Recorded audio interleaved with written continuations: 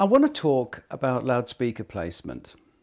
It's a topic I feel very passionate about because it's the one thing that when you get it right can really transform your system. And up until the last few years, I mean like three, four years ago, I thought I knew quite a lot about loudspeaker placement. And I thought it was quite straightforward to explain to someone how best to to place your loudspeakers in your room. But in fact, as I've grown older, I've realized it's a little bit more complicated. In fact, it can be very complicated. The mathematics of, of acoustics and loudspeaker placement is extraordinarily complex, and there are algorithms running to help you with all these things. But in fact, the solution that I've found is very easy and very straightforward and very pragmatic. And it will help you, no matter what kind of loudspeaker you've got, whether you've got a pair of Sibelius speakers with a front-loaded port like we have at the bottom, or whether you've got rear-loaded ports, or whether you've got infinite battles, baffles, totally enclosed loudspeakers, or Magnepans and, and electrostatics with their open backs. They're all completely different and will need different treatment, but the solution is actually the same. So bear with me, and what we're going to do is I'm going to sort of talk you through the process that I'm thinking, and we will we'll come round to coming up with the right solution. But first of all, I want to go back and I want to really explore the very basic and most important question of all, and that is why do you want to put a stereo pair of loudspeakers in your listening room in the first place? Now, that might seem like a, a daft question, but it's a very important one to get right. And you've got to be honest and truthful with yourself on this. So, for example, if your answer to the first question is, Well, I want to listen to music, and I want to listen to music with my partner, and we like to enjoy a glass of wine and sit and relax and listen to string quartets or jazz trios or whatever. Or it might be, I just want to fill the room full of music. So no matter where I am, if I'm sitting or working or walking around, it just fills the whole space like an organ in a cathedral. Or it might be that this is your one special room where you want to go and sit quietly on your own and listen to music and close your eyes and hear the, the musicians in front of you all neatly laid out, singer in the middle, drums right at the back, bass to the left, and then the keyboard or guitar on the right, or you might have three guitars and you might want to hear them all neatly spaced out, exactly as it would be if you were at a live concert. Because the answer to those questions will make a huge difference on how you place the loudspeakers. Because if you want the last case, the, the perfect soundstage, what we call soundstage, um, you've also got to think about, well, how wide do you want your soundstage? I mean, when you go to a concert, let's just assume it's an acoustic concert for the moment, so the musicians are, are placed on, on, on the stage. Do you like to sit right at the front? So there's a big distance between one instrument on one side and one instrument on the other, and you're almost physically turning your head. I mean, if you go to the Berlin Philharmonic, um, fantastic building there in Berlin, and you're going to listen to a big Mahler symphony, I mean, you really are physically turning your head if, if you're at the front, because it's such a big stage. On the other hand, you might say, no, no, no, I like to sit halfway back and therefore the, the, the, distance, the proportional distance between the left and right becomes narrower. Or you might say, no, no, I like to be right at the back. Well, then it's almost coming at you in mono because it's coming straight at you and the, and, and the stage is very, very narrow. So that's a very important thing because that's how you're going to set it up. And that's very easy, of course. So the further apart your loudspeakers and the closer you are, the wider the stage. You just have to imagine your left and right like the, the musician on the left and the musician on the right. Now there's a, a, um, a CD that I got from Hi-Fi Plus magazine and um, it was given away free with it. And there's lots of these CDs for setting up your hi-fi and everything. But on this one, and I'll put the, the details of it in the notes of the video, there's a man talking and he says, you should hear me on the left and you should hear me on the right and you should hear me in the middle or in between the two. And he has a pair of castanets, a castanet going tick, tick, tick, tick, tick. And he walks round the room and he goes right to the back and then right forward to the front and then to the left and then beyond the left speaker and then beyond the right speaker. And trust me, if you place your speakers correctly, it is amazing because at one point he's going one way, the castanet's going the other, and you really get that three dimensional image and sound. And, and that's the great thing about the Sibelius loudspeaker. It's got a very um, shallow cone, so you don't get the punch of the sound coming straight at you like a bomb, like a, you get with certain speakers, but you get this wide natural sound stage and therefore the speaker placement they don't always have to be toed right in and you can just get it how you want. And by the smallest inkling of toeing in or out it's absolutely right. Now first and foremost let's go back. So if you were then sitting with your wife listening to this music or your partner listening to this music I should say and you're sitting on a couch, then obviously you want your, your sound stage, the sweet spot, to be a bit wider than just a literally 20 centimeter space where you sit and it's absolutely perfect. You want it wide so you can relax and move a little bit. And there you're going to have to compromise. And there you're probably going to have to toe the speakers out a little bit, move them back a little bit. And you've also got to agree how wide you want the soundstage. When you go to a cinema, the first thing you do with your partner is decide where you want to sit. When you're younger, you sit right at the back for obvious reasons, but when you're my age, you want to sit in the place where the sound's good and where you can see the screen without turning your head. And then when you've agreed where you want to sit, that's the width of your speakers in proportion to your depth. Now, obviously, there's a number of really important things. When you're listening to music in your living room or in your sound listening room, the sound isn't coming straight from your loudspeakers straight to your ears. Obviously, it's bouncing all over the place. It'll be bouncing off the ceiling and down, bouncing off the floor and up, bouncing off the walls. And all, all of these reflections will be arriving at your listening point at different times. So sometimes a really big room is fantastic for loudspeakers, especially the Sibelius, because they will just fill the space. And, the, and because it's a big room, very big room, you don't get the, the bouncing back. And therefore, when you're sitting in the right spot, you don't have a lot of confusion. So in professional mixing rooms, we use a series of acoustic panels to reflect and some to absorb and by balancing them you, you get it about right but in our living living rooms we've got bookcases we've got sofas we've got coffee tables we've got all these things which can cause confusion so but I don't want to go too much because there's a separate video on, a, on, on room acoustics. But basically, you in an ideal world, you would move your loudspeakers out from the back wall. Now, in this case, I've got them probably a, a meter out from the back wall. But with Sibelius loudspeaker, the, the wood is so thick, it's 3.3 centimeters thick before the final sanding. Um, and the panels are relatively small. So you've got this really uh, very tight panel. So there's almost no sound at all coming out of the cabinets at the back or the side. So you haven't got to worry about that. So you can actually place them right up against the back wall if you need to and fire them down the room. It's not going to make much difference except for the fact you have what we call edge diffraction where the sound bounces back.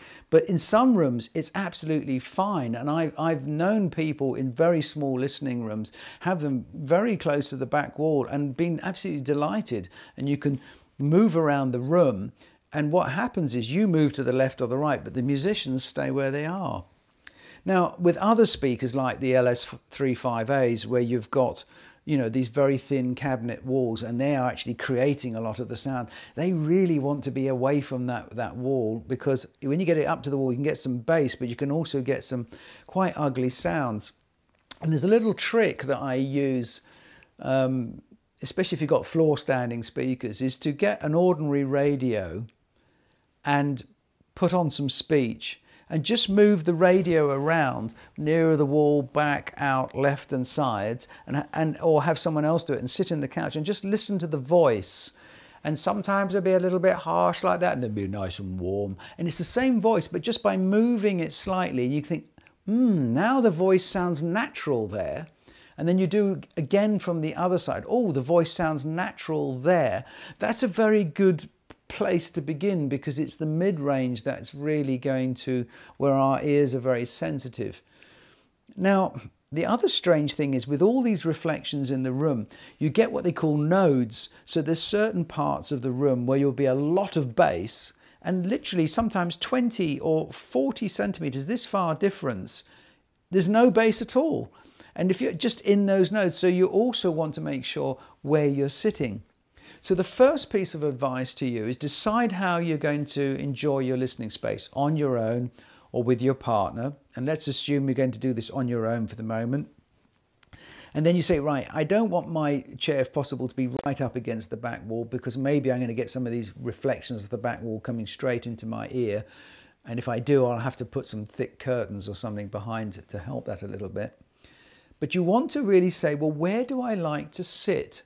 Where do I feel cozy in the room? Where do I feel comfortable? I mean, you might say, well, I don't want to sit over here because there's a draft or there's a window behind me. And I think that's the most important thing. So start with that. So where do you feel comfortable? And then think, well, okay, where can, how can I arrange the speakers in my hi-fi system or my books and my drinks cabinet, whatever, so that this is a nice place to be? Because it's got to be a nice place to be. There's no point having to sit, you know, in a certain point and because you'll never relax and enjoy the music. Um, and I'm going to make a, a, another video soon about listening to music, whether we're listening to hi-fi or whether recordings or whether we're actually listening to the music. But for me, when I'm listening to the music, what I'm really focusing on, what I'm really interested in, is following maybe just individual instruments. So what is the bass player doing there? There's a, there's a great um, Willie Nelson CD. It's one of his later ones. And there's a guitarist playing. He's got about four or five guitars playing on the same track.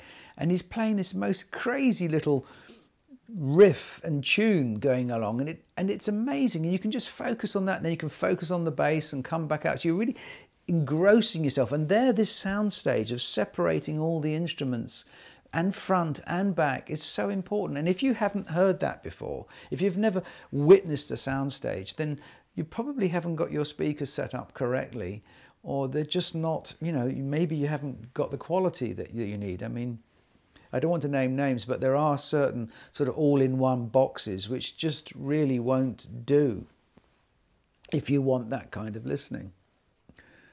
So where was I? Yeah, so you've got your sound station, you've chosen your spot and you've got your speakers. Now, if they are rear ported speakers, so there's a hole in the back where obviously bass comes out, that's going to be critical. And what you'll want to do is play a normal track, a, a, a piece of music you know quite well with a, with a bass playing on it or, or whatever, and just move the speaker from the back put it right up against the back wall, doesn't matter, and sit down. And it's great if you've got someone to help you, and start to move it forward, move it down the room. And if it's on the stands, if you're lucky to have a wooden floor like I have, you can just slide the stands along. But you move it along, and then you'll find the bass will be very low at the beginning, eh, not much, and then it'll be coming more and more and more. And then one point it might be uh, too much even and you just need to move it till the bass sounds crisp. What you're listening for is detail. For that, I like to listen to acoustic double bass playing. Um, uh, we get we've got we get requests from Oscar Peterson Trio starts with a fantastic uh, double bass solo and when you're listening to that you can hear all the breathing of the player but you also hear every single note so move it around till you get the detail in the bass because that's what's most important if you're listening to music if you want to impress your friends or your neighbors, just move it until you get the biggest thump you can. Or better still, stop doing that, go out and buy a REL subwoofer and just stick that in the room. So do that left and right to match your bass. If you've already done the technique of the with the radio for your mid-range or your voice, or just play voice through your hi-fi, just speaking voice. And if you're lucky, the two will come in the same place. Now, I can't emphasize it enough. You know, toeing the loudspeaker in is such an important thing. And sometimes, you know, just the tiniest, tiniest movement, just a centimeter like that or like this, sometimes in some rooms can make a difference because at certain frequencies, it might be that it's just bouncing off a mirror or bounce, if you should, preferably if you don't have mirrors in your listening room, it might be bouncing off a, a bookcase or something and it can be can be very annoying. So sometimes the smallest movement, once you've got it roughly in the right place, then spend a lot of time in the smallest movement. And when you think you've got it in a good place, put some masking tape or some sticky tape on the floor or mark on the floor where it was because you will forget after a while because you want to get it back to exactly the same place.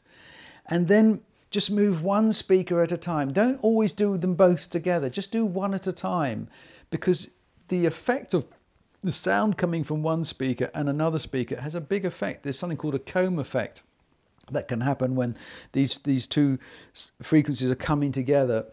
And that can be quite unpleasant. It's a bit like phasing. So just move one at a time and move it, first of all, large amounts, and then in the end, just centimeters. And then I mark the floor. And when you've got it just right, again, you've got to check with your chair, make sure, then move, then get up walk around the room and walk to the back, walk into the middle, walk to the front and see is it only great in one place or is it actually quite good in other places? And you might think, you know what, if I just move my chair literally this much further back, I'm in the node and I'm getting the full bass response. Uh, it, sometimes it can be very small amounts. You'd be very surprised. So that's basically it. Getting them away from the wall in most cases is great, but they don't always have to be halfway down the room. And sometimes when they do, you end up killing all the bass because the bass is coming back out of phase. Now, not everyone has rectangular rooms. Often people have rooms, L-shaped rooms and different shaped rooms. Uh, and that is why this experimentation is so important. Listening area first, choose a sweet spot that you like, and, and then try and work from there. Now, if you've got an alcove, and you've got echo coming in the alcove. There's a bit of echo in here, probably from this flat screen, but it's not too bad to be honest. But if you've got an alcove and it's it's not, um, you can hear that it's echoey and it's just unpleasant. It becomes tiring to listen to because the sound's bouncing around. Then sometimes a pair of thick curtains in front of it, which you can just pull together when you're listening to music and open them again can make a massive difference, or a piece of furniture, or one of those panels that you saw in the acoustic area. So for room for setting up your speakers, in um, I want to recommend this book because this is a great book. It's called Master Handbook of Acoustics by Everest and Pohlmann. It's a well-read book of mine. It's, it's very, very technical, but it explains everything from the decay beats, from recording right the way through to, to the, the sound engineering rooms and uh, what sort of delay, 300 milliseconds and whatever for your different frequencies. So if you're really into technical things and you really want to understand a bit more about the maths and some of the different effects, then by all means enjoy this. It's quite an interesting book, but it is very technical. But he does have at the beginning of the sections a sort of a management overview, which is things are explained in, in quite straightforward ways. And there's a, an interesting section on it on, on, on the listening room itself. So I hope I've covered everything. I hope you found that useful. And be very pragmatic. Just try and move and try and move again and decide how wide you want your soundstage to be, how where you want to sit in the audience, and then whether you're going to be sitting with a group of people or with the family or with friends, and then start working from that way back. And the secret is don't take anyone's word for it. If your next door neighbor says, oh, you have to do this and you have to do this, or I say you have to do that, no, you don't.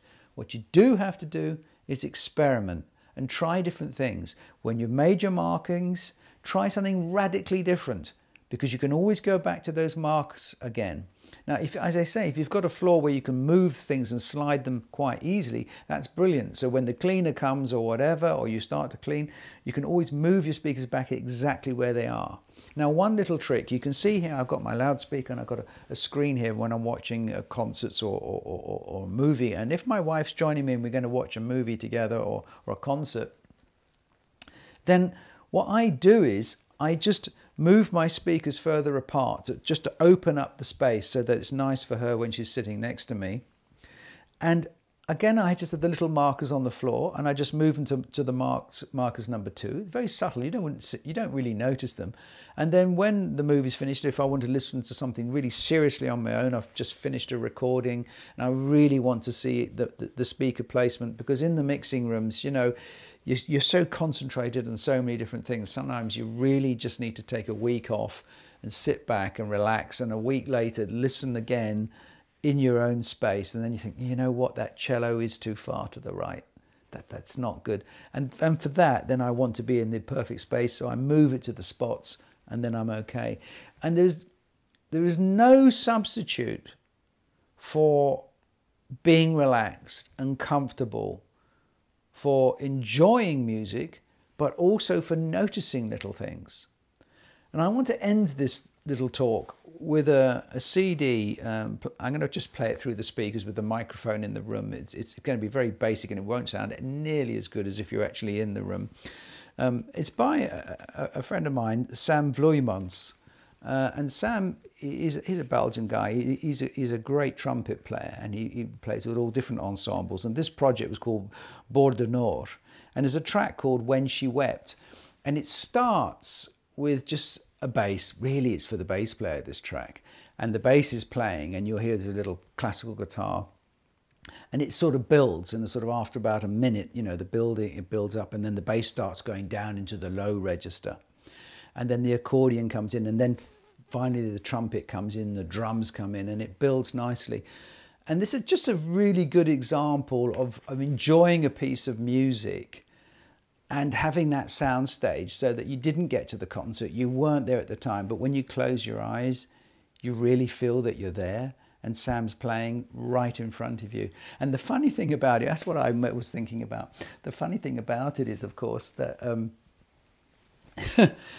Sam, um, somebody at the beginning, his chair creaks, and you hear it really clearly, is creaking. And the funny thing is, if that was me recording it, there's no way in hell I would let that happen. But you know what? It doesn't bother me.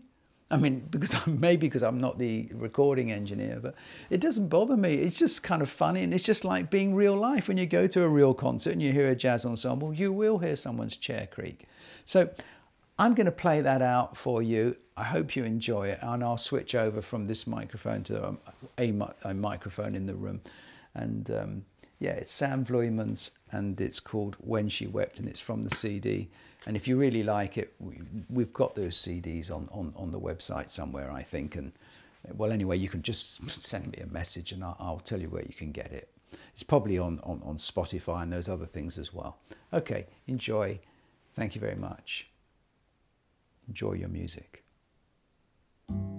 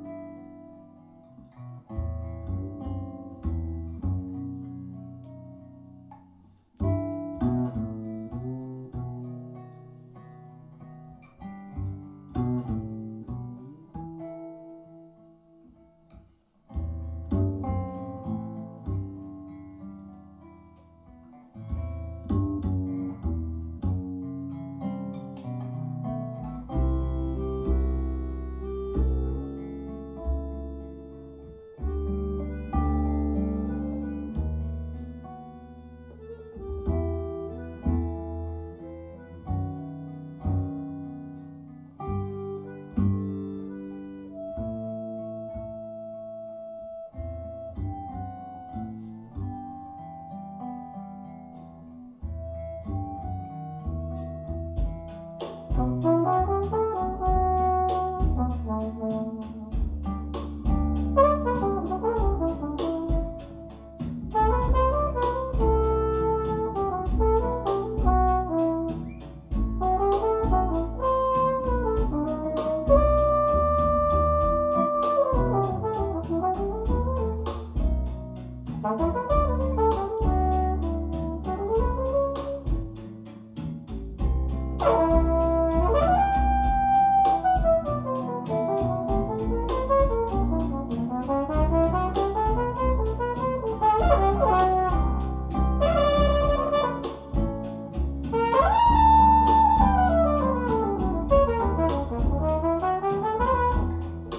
Música